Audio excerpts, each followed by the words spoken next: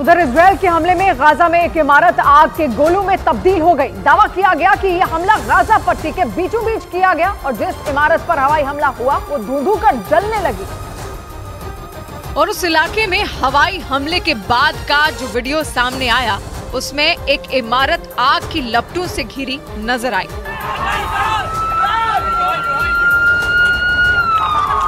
हमले के तुरंत बाद ही वहाँ भगदड़ मच गई। और लोग भागते नज़र आए। एक तरफ़ वो इमारत आग में धधक रही थी तो दूसरी तरफ़ पूरे इलाके में सायरन की आवाज़ भी गूंज रही थी।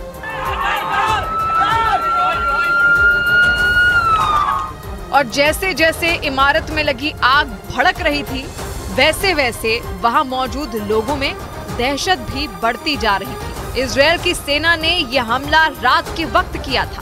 ऐसे में उस इलाके से लोगों को भगाने का मौका नहीं मिला। लेकिन फिर भी जिसे मौका मिला, वो अपनी जान बचाने के लिए भागता नज़र आया। थोड़ी देर में हमले की खबर मिलते ही वहाँ फायर ब्रिगेड की टीम पहुँची और उस इमारत में लगी आग को बुझाने की कोशिश शुरू की गई। लेकिन इस इमारत में लगी आग को बुझा पाना उतना आसान नहीं था। आग पर काबू पाने के लिए कई घंटे की मशक्कत करनी पड़ी और जब आग बुझी तो वहाँ तबाही के कई और निशान देखने को मिले।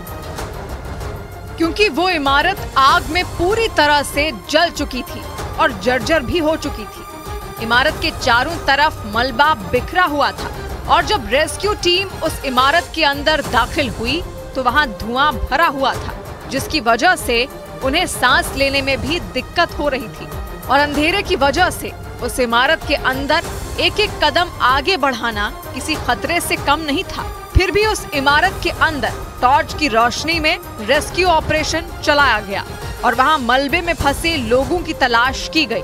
बिल्डिंग के अंदर घुसे लोगों ने एक एक कोना खंगाला। तो इमारत के बाहर भी घायलों को अस्पताल पहुँचाने के लिए एंबुलेंस की व्यवस्था की गई थी। इसराइल की सेना के हवाई हमले में सिर्फ़ एक इमारत को ही नुकसान नहीं पहुँचा था। वहाँ हुए हमले में कई इमारतें जमींदोज हो चुकी थी।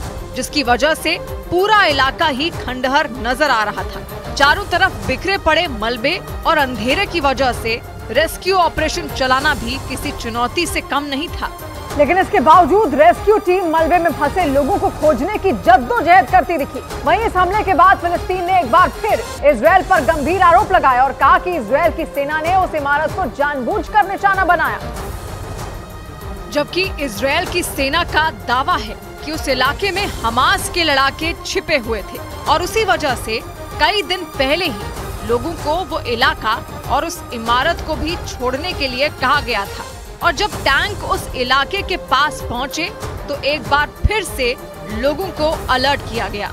लेकिन बार बार कहने के बावजूद भी लोग उस इलाके से नहीं गए। ऐसे में वहाँ हमास के लड़ाकों के छिपे होने की आशंका और बढ़ गई। क्योंकि इसराइल का दावा है कि हमास के लड़ाके आबादी वाले इलाकों में छिपकर वहाँ रहने वाले लोगों को ढाल बना रहे हैं। और दावों के मुताबिक उसी वजह से इसराइल की सेना ने उस इलाके पर बम बरसाए और हर जगह तबाही मचा दी। दावों के मुताबिक हवाई हमले में कई लोग घायल हो गए, जिन्हें अस्पताल में भर्ती कराया गया।